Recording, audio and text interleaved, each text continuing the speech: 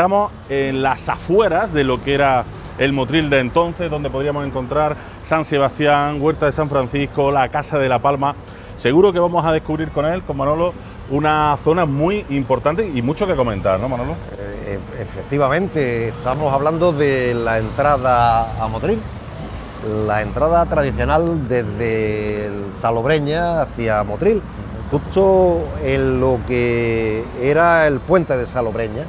Aquí existió, en esta entrada a Motril, se entraba a Motril por dos vías, por una interior, que era la calle San Francisco, y otra más exterior a la muralla, que era lo que hoy es el Camino de las Cañas, y había un puente para pasar a la acequia, que es el que comunicaba la entrada a Motril con el camino de, de Salobreña, hasta, hasta la zona de, de la avenida Andalucía, eh, Motril tenía, la acequia de Motril tenía varios puentes. El puente Salobreña que estaba aquí, que era el que comunicaba Motril con el camino de Salobreña, el puente del hospital, que estaba donde hoy está la Plaza de Tenería aproximadamente, el puente del Salitre, que es enfrente del cerro, y ya el puente del Toledano, del Ingenio del Toledano, la salida de Motril por el otro lado, es decir, para comunicar por el camino hacia Almería. Eh, evidentemente, esta zona de aquí estábamos a la afuera de Motril, lo cual no quiere decir que no tuviera su importancia en el sitio donde estamos situados ahora mismo. Había unos dos casas grandísimas, antiquísimas. Una de ellas se conocía como la Casa de las Lonas.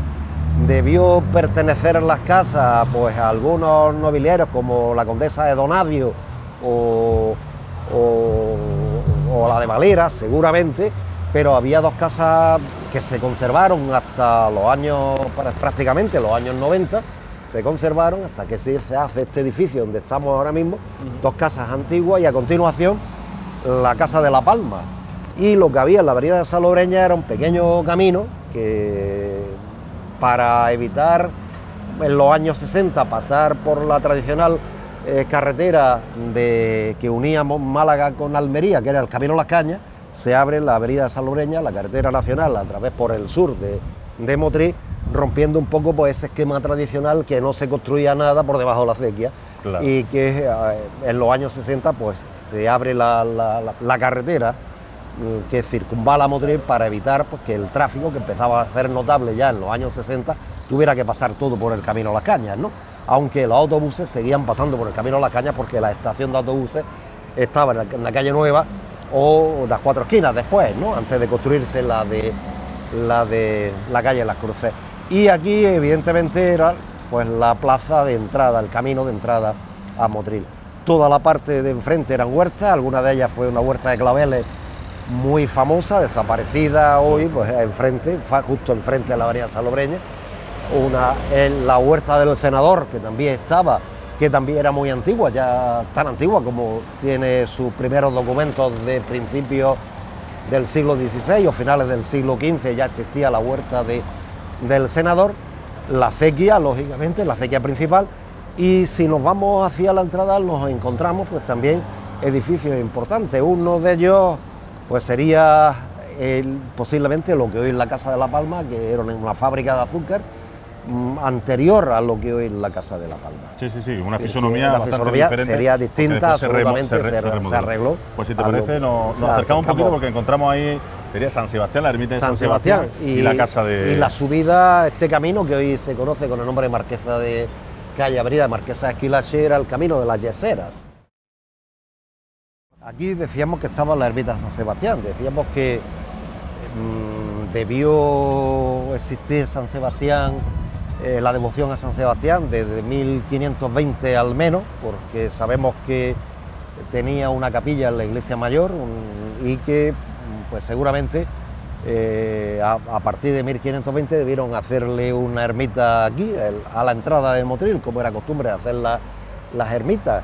Eh, por lo menos en 1537 estaba construida, es decir, al menos sabemos que en 1536, 1537 la ermita San Sebastián ya está construida y es uno de los santos que Motril le tiene antiguamente más devoción, porque seguramente era pues, el protector de las epidemia de aquella época, San Roque, San Sebastián, eran los protectores, curiosamente la mentalidad de los motrileños decía que el camino a las cañas era la calle que iba desde San Roque a San Sebastián y, San Sebastián pues evidentemente tuvo aquí su ermita hasta el año 36, 37, que por los avatares de la guerra civil arde, se queda en ruinas y después se, quitan los últimos restos de, San Sebastián.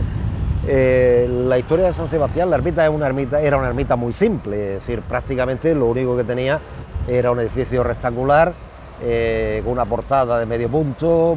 Sí que es curioso, pero el, ara del altar mayor de la iglesia mayor de, de era el ara de la, de la ermita San Sebastián. Cuando se derriba la ermita en los años 50, se lleva a la, se lleva a, a la iglesia mayor, ahí está el, el árabe. ¿En qué año ya se derriba? Se derriba en los años 50. Eh, se estuvo expoliada, estuvo, estuvo, sí, estuvo saqueada. Estuvo, se quemó en la época de la guerra y estuvo aquí en ruina durante un montón de tiempo, hasta que el ayuntamiento, pues en los años 50, decide pues, eliminar los restos que quedaba aquí de la ruina de la ermita y, y, y desaparece. ¿no? Ya lo que queda son fotos y evidentemente pues la, historia de San Sebastián y la historia de la devoción de la devoción de San Sebastián en, la religiosidad popular motrileña, eh, justo en la entrada del camino de Salobreña, ¿no? Es decir, lo tenemos enfrente, tendríamos enfrente a la huerta del vicario. La huerta del vicario es la huerta del, vicario González Hernández de Herrera, que fue uno de los primeros vicarios que tuvo mm, Motril y que además adquirió unas grandes propiedades en Motril. La ermita de San Sebastián, y enfrente, enfrente pues, el ingenio de, La Palma, de lo que hoy conocemos con el nombre de La Palma. ¿La huerta vicario es porque ahí vivía? No, no, ahí tenía su, una de sus tierras que dejó para sus capellanías y compró muchísimas tierras. El vicario Herrera debió llegar a Motril sobre 1507, 1508, una cosa así, y compró muchísimas tierras, fue el encargado de hacer la muralla de Motril por parte de los reyes, eh, fue el encargado de construir la iglesia mayor, eh, es el vicario que en su época se construye la iglesia mayor y... Un hombre de gran relevancia. Sí, sí, era hombre de gran relevancia en Motril y compró muchas tierras y cuando se muere deja dos capellanías ¿no? y una de sus tierras más queridas es lo que se conoce en la historia de Motril hasta el siglo XIX con, la huerta, con el nombre de la Huerta del Vicario, que estaba justo enfrente de San Sebastián y enfrente de, de La Palma. O la parte de abajo de lo que es la avenida de Salobreña. Claro, la parte de abajo de lo que es la avenida de Salobreña, una de las zonas más productivas de, de Motril y una de las zonas mejores de cultivo. Bueno, y enfrente decíamos que teníamos la Casa de La Palma, que sigue siendo un orgullo para Motril, tener en la entrada un edificio tan bonito ¿no? y, que, y que significa tanto. Actualmente es es casa de, la Universidad a Distancia, de, la, la, UNED, del centro asociado, y, que podríamos decir que conserva mucho, aunque también ha cambiado mucho de la original. Sí, también ha cambiado mucho de la original. Vamos, la, Casa de la Palma es uno de los edificios emblemáticos de la ciudad, ¿no? Y además tiene una historia gigantesca, ¿no? Es decir, la historia de la Palma es larguísima. Eh, nos podemos imaginar que existía ya en el siglo XVI existe una fábrica de azúcar aquí, de un borisco que se llama Buenaño, eh, le decían de mote el Ceutiní, o de apellido el Ceutiní, y... No el Ceutí, Ceutiní. El Ceutiní. y seguramente esto fue una aduana de azúcar, una aduana eh, tradicional, modelo de, de fábrica típica del mundo musulmán, y cuando son expulsados los los moriscos de Motril 1570 es expropiada por la corona y en principio la alquilan, la ingenio de azúcar lo arreglan, lo alquilan y tal, y al final lo va a comprar eh, Alessandro Savarino, un genovés eh, de Granada, que va a reestructurarlo, va a crear ya un ingenio más moderno y lo alquila con, con frecuencia a un paisano suyo, que también es genovés, que vive en Granada también, que se llamaba Lucas Palma. Este Lucas Palma, durante muchas temporadas de azúcar, en esos años de 1577, 80, 80 y tanto, alquilaba, arrendaba el ingenio de azúcar, molía cañas en él, y en Motril, pues el ingenio de Lucas Palma se terminó conociendo El como el ingenio de de La Palma. Palma, claro. Nada que ver con las palmeras, Ya, ya. sino con el nombre de un genovés, Lucas de Lucas Palma, Palma. el nombre de un genovés que curiosamente después la, la, las palmeras ya lo hemos confundido. Eh, el- la- en el siglo XVII esto lo compra la familia Chavarino de Granada, eh, una familia muy importante, banqueros, comerciantes genoveses afincados en Granada, muy importante, lo van a vender a la familia Victoria. Eh, antes comentaba yo que uno de los primeros Victorias que llega a Motril, que tiene su capilla dedicada a San Sebastián en la iglesia mayor, y que en su testamento de 1520 lo recogía, la recogía. Bueno, pues esa familia es el que compra la, Casa de la Palma a mediados del siglo XVI, perdón, del siglo XVII, compran la Casa de la Palma y la arreglan. En 1650 es cuando se construye este edificio que estamos viendo hoy. 1650. 650. Y costó la friolera casi de 50.000 ducados construir este edificio que estamos viendo hoy. No el ingenio que estaba por detrás de la Casa de la Palma y que se conservó hasta los años 80 cuando se derriba. Y 50.000 ducados era una cantidad impresionante. Es decir, que aquí hicieron su edificio la familia Victoria, don Juan de Victoria y Castro hizo su gran edificio y por detrás tenía su fábrica de azúcar. La fábrica de azúcar de La Palma conserva su, su actividad industrial hasta finales del 18, cuando la caña de azúcar entra en crisis, este ingenio se cierra, se queda el edificio, se queda como patrimonio de La Palma, de la familia, de la familia Victoria. Eh, curiosamente, el último Victoria fue don Pedro Victoria y Ahumada, que muere a principios de finales del 19 y curiosamente don Pedro Victoria Ahumada deja La Palma para que se establezca en Motril una institución educativa en su edificio. Por eso se construye el reloj, para la hora de entrada y salida a esa institución educativa. Es el reloj de La Palma, que El también reloj es de Vitoria, El ¿eh? reloj de Vitoria, el reloj de La Palma, que también se conoce como, como- el edificio también se conoce así. Durante mucho tiempo era el reloj de Vitoria, ¿no? Eh, después, el testamento que deja don Pedro de Victoria Ahumada no se lleva a cabo. ¿no? Eh, hay una reclamación por parte de la familia del médico personal de él, que era Ocete, y al final la familia Ocete se quedan con la casa y, al final pues, se convierte en una residencia particular, nada que ver con esa residencia educativa o esa institución educativa que quería dejar, que dejó en su testamento don Pedro Vitoria, pero sí se conserva evidentemente el reloj y se conserva. Y el escudo mm, que tenemos ahí, que se cayó en una tormenta en los años 60, se cayó, de yeso, sería el escudo de la familia Victoria. Ese escudo, como está en la casa solariega de la familia Victoria, no se conserva, se podía restaurar, porque es yesería, se podía restaurar en cerámica y volver a restaurar el Claro, escudo. por mantenerlo. Por mantenerlo se conserva, sabemos cómo es el escudo de la familia Victoria, se podía en algún momento restaurarlo. Eh, después aquí, en, lo- en los años 40, eh, compra la familia Lola Burgos, compra la casa, la familia Palanco Burgos compra la casa, que son la familia que después, don Francisco Palanco Burgos, es el que después negocia con el Ayuntamiento de Motril en los años 80 y se transforma en una... Quizás en eso que decía don Pedro Victoria en los años, en el siglo de, a finales del siglo XIX, en una institución cultural. Un de Curiosamente, enseñanza, un lugar al de- final, al final se- La Palma se ha convertido en lo que don Pedro Victoria quería, Quería. en su testamento, curiosamente. Al final se cumplió el testamento de don Pedro Victoria.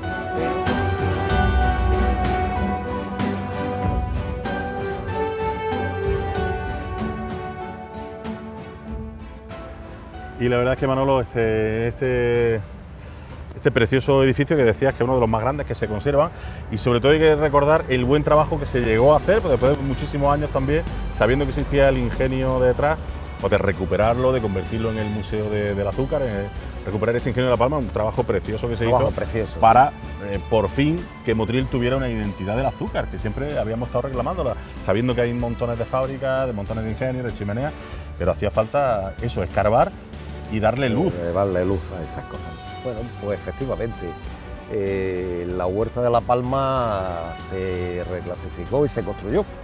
y había un solar en la parte de atrás de La Palma, un solar que el ayuntamiento pues pensó hacer una plaza. Y enfrente justamente vivía en aquella época, estoy hablando de principios de los 80, o los 80 y tantos, 65, 64, 65, vivía Manolo Santaella, que era concejal del Ayuntamiento de Motril en aquella época. Y cuando la máquina empieza a trabajar eh, para hacer la plaza en la parte de atrás de La Palma, empiezan a salir los restos del ingenio de azúcar. Manolo Santaella, eh, aquel día, pues da para la obra y gracias pues, a aquella intervención de Manolo Santella se pudo recuperar los restos, los pocos restos que quedaban del ingenio de La Palma. Eh, el ayuntamiento en los años 90 le encarga al mismo arquitecto que hizo la restauración de La Palma una restauración de un primer museo preindustrial que estaba sin cubrir, se hace, con la prensa de vigas, se hace una especie de jardín eh, de, de con industrial, con, todas las piedras descubiertas y tal, y después, 2005, eh, 2006 aproximadamente, no me acuerdo la fecha, pero a mediados de, la primera década del siglo XXI, se transforma y se hace una buena intervención creando lo que nosotros conocemos como Museo Preindustrial de, de Motril, y como decía, pues poniendo en valor pues una de las historias tradicionales de Motril. Es curioso yo siempre lo cuento cuando he dado conferencias sobre el tema de ingenio azucarero de Motriz, que ya he dado algunas en mi vida, eh, siempre cuento, es decir, es curioso, pero la historia del azúcar de Motriz fue 500 años, al menos, si empezamos a hablar del siglo XVI, 500 años. No, Motriz no ha conservado nada, excepto este trocito eh, que, del ingenio de, de La Palma. Pero en Motriz hubo 11, 12 fábricas de azúcar, no sé cuántas, 14, 15 cazas de mm. blanqueo, eh, no sé cuántas fábricas de quebrado y mascabado y tal, no, nada. Hemos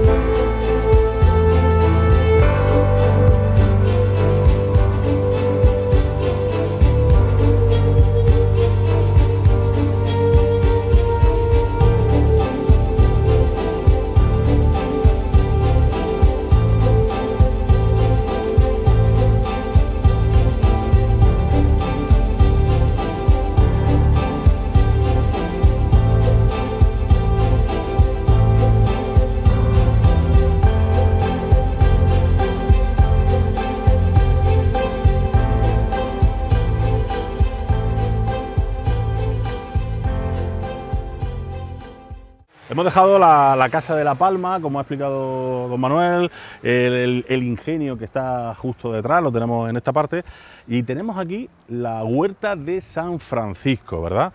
Donde también parece ser que hubo un convento también pues durante muchísimo tiempo. Durante mucho tiempo y un convento muy importante. Aquí la tenemos en dos partes, ¿no? Es decir, eh, parte de esto era hacia abajo, la huerta de San Francisco, hacia arriba la huerta de los Valles. De los Vallejos. sí. Eh, antiguamente, antiguamente esto conformó pues toda una propiedad de los franciscanos.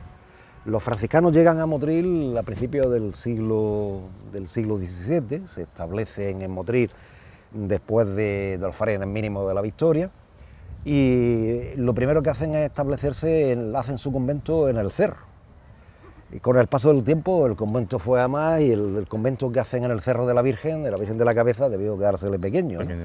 Y a partir de 1535, 32 aproximadamente, construyen, 32, 35, construyen el convento de la Concepción, aquí, en esta zona de, de, la huerta, por eso se llamaba tradicionalmente la huerta de San Francisco, toda esta zona. Es decir, estuvo construido un convento con su claustro, su iglesia, hasta pues de 1500, de 1632 hasta por la desamortización, que es 1835-36, que cuando se desamortiza los conventos en época de Mendizábal, pues evidentemente tuvimos aquí el convento de, la Concepción mm, eh, de la Orden de los franciscanos de San Francisco de Asís.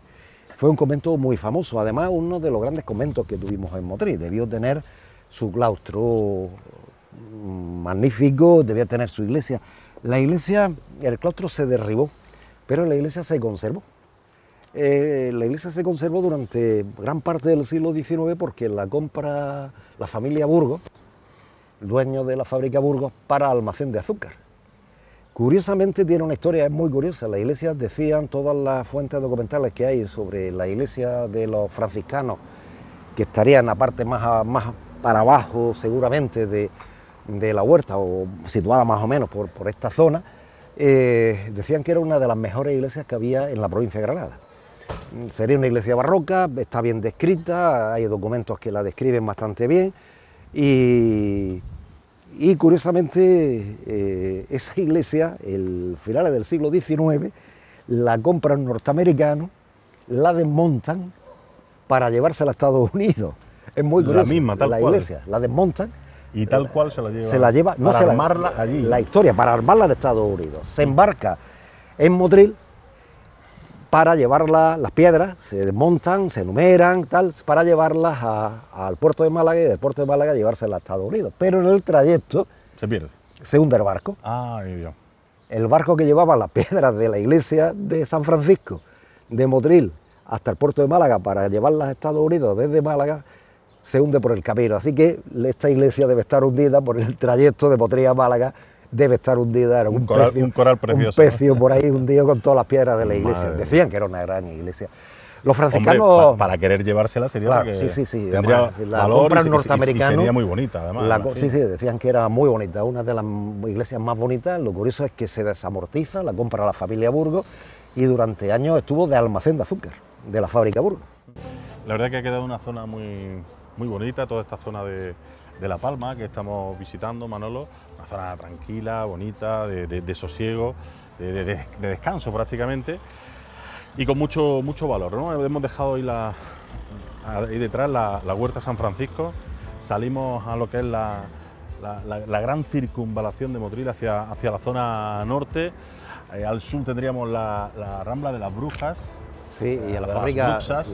toda la rambla Toda la rambla de, la Bruja y, la fábrica del Pilar. Y la fábrica del Pilar, ahí, ahí eh, erigida en eh, uno de los, también de Motril. De, las zonas con también historia industrial de, de Motril. Eh, la fábrica del Pilar, la primera fábrica del Pilar, la construye don José de Burgos, que estaba casado precisamente con la marquesa de, de Esquilache. Mm, doña Pilar de León y Gregorio, con lo cual por eso le puso la fábrica de Nuestra Señora del Pilar, en homenaje a su mujer. Después ella, ella es la que se queda y originariamente la fábrica del Pilar, como la conocemos nosotros hoy, eh, la instalación la hace una empresa que la hacen Burgos, Domínguez y García, se llamaba la empresa, que es la que levanta la primera fábrica de Burgos, del Pilar o Burgos, como la conocemos nosotros hoy. Todo ese edificio de la, de la primera estructura, estos edificios del almacén de azúcar y la casa de, de, la, de la administración y tal, pertenecen a esa época, ¿no? Pertenecen a la fábrica de Burgos, Domínguez y García, que fueron los primeros constructores de, de la fábrica del Pilar. Burgos es de Motril y Domínguez y García eran unos empresarios de Granada son ellos los que construyen pues quizás la instalación fabril más importante de industria azucarera sobre finales, los años finales del siglo XIX. A principios del siglo XX esta fábrica la compra el monopolio, el TRUS, la Sociedad General Azucarera, en la cual hay representantes motrileños, Burgos, la familia Burgos, Ricardo Burgos Careaga, Jiménez Caballero, don José Jiménez Caballero, y tal, y, además compra la fábrica del Pilar y empiezan a comprar otras fábricas, de manera que la Sociedad General Azucarera se convierte en la, industria monopolio, el trust, como le decía, y es una época en que Motril empieza a tener muchos problemas, porque como prácticamente ellos son los que rigen el tema de la producción azucarera de Motril, ponen los precios que quieren y entonces... Pues ya, ya, había, ya había una pequeña revolución por parte de los trabajadores. Claro. no, no de, los, trabajadores, sino de los labradores. De los labradores, perdón, claro. Es decir, el trabajador... Quejándose ya por el, precio. Los precios de la caña eran, claro, ellos tenían el monopolio de la fabricación. La Sociedad General Azucarera, como era la dueña de la mayor parte de la fábrica, de las fábricas más importantes, las más productivas, podían poner los precios. O, fabricaban al precio que ellos querían, cortaban las cañas al precio que ellos querían o se comían los labradores las cañas de azúcar. Con lo cual eh, empezaron a ofrecer precios muy bajos y fue totalmente una época de crisis en Motril tremenda, ¿no? Tremenda. Es curioso, pero no se resuelve hasta la Segunda República, cuando en época de la Segunda República el Estado es el que fija el precio mínimo de la tonelada de caña, de la producción cañera, no los precios de la competencia de los precios, porque si no, eh, años en que 1911, 1913, 1923 o 1922, 1920, donde por un marjal de caña, una producción de un marjal de caña, no daba ni, ni, para poder ni comer, ¿no? Es decir, que los precios que se pagaban por, la, por el azúcar, ¿no? E incluso en vez de al peso, empezó a pagarse en época de la República por sacaroza, es decir, por, por la riqueza azucarera que tenía la caña, ¿no? Con lo cual siempre se mejoró la, a favor del, labrador más que a favor del fabricante. ¿no? Pero la fábrica del Pilar representa, pues eso, la primera institución fabril de importancia. Todavía se conserva. Más de gran tamaño. De gran tamaño, sí, es la más grande de, la, de las existentes en la costa. ¿no? Y todavía se conserva la antigua fábrica, la, perdón, la antigua chimenea, no esta que estamos viendo, esa de 1929, sino la que está en lo alto del monte, es la antigua chimenea de la fábrica de, esa fábrica inicial que construye Burgo Domínguez y García. Esa fábrica inicial de Nuestra Señora del Pilar, que construye Burgo Domínguez y García, sobre 1881 aproximadamente se construye esa primera instalación fabril de la fábrica del Pilar. Eh, esta también era una zona a las afueras de Motril, es decir, es verdad que la fábrica del Pilar, pues no solamente tienen la fábrica, sino alrededor una, gran cantidad de tierra. ¿no? Eh, por eso cuando el ayuntamiento se queda con la fábrica a cambio de la recalificación de la parte de atrás de, la estructura de, vamos, de, la extensión territorial de lo que era la fábrica de azúcar del Pilar. y curiosamente la fábrica del Pilar pues, ha formado parte de la estructura del pensamiento industrial de esta ciudad. ¿no? Es, complicado, difícil, porque es un edificio muy grande, pues será el museo industrial de la ciudad. Lleva no sé cuántas corporaciones intentándolo, siempre con muchos problemas, porque es un edificio muy grande, y que vale mucho dinero la restauración pero bueno, yo espero que se consiga. Ya parece que próximamente no hay dotación. Dotaciones económicas que se consiga porque será otro referente en la historia cultural de la ciudad. Ya tenemos una en el tema preindustrial, pequeñito, pero con mucho, con mucho encanto y con mucho valor. Y después esta sería la gran instalación industrial del siglo XIX, hay piezas del siglo XIX, de principios del siglo XX, los molinos son inmensos, los molinos de, caña son inmensos de la fábrica del Pilar y será un buen elemento como, eh, digamos, como museo de cultural y de la cultura de, de, Motril. Y una vez más habrá que lamentar haber dejado todo este tiempo sin haberle metido mano por aquello de que van desapareciendo muchas cosas, que es muy complicado. Es decir, yo que tuve en la época la responsabilidad sé ah, que, que, era muy complicado. Es decir, era con mantenerla y ya tenía uno suficiente, ¿no? Nosotros nos vamos a quedar aquí hoy con este, la finalización de nuestro trayecto, como les hemos comentado, esta zona de La Palma que, mantiene todavía ese embrujo, ese sabor, nunca mejor dicho, de lo que era el azúcar en aquella época, lo que ha significado el azúcar para nuestra localidad, el azúcar para Motril. Y hablamos de ese ejercicio que deben de realizar ustedes, eh, salir a las calles, visitarlas, imaginarse cómo eran antiguamente nuestro Motril, gracias a las explicaciones que, nos da eh, Manolo Domínguez. Y por supuesto, en la mano de todos está hacer eh, ese esfuerzo, porque manteniendo la memoria histórica de Motril mantenemos viva concretamente toda nuestra historia y entre todos seguro que podremos y sabremos empujar para que Motril vaya más arriba culturalmente, rescatando, como decimos, por ejemplo, hoy la fábrica del Pilar y otras tantas que mantenemos en nuestro municipio. Aquí lo dejamos en el día de hoy, en nuestra alquería. Volvemos la semana que viene con más cosas, visitando nuestro Motril, que tiene mucho, mucho que ofrecernos. Hasta la próxima.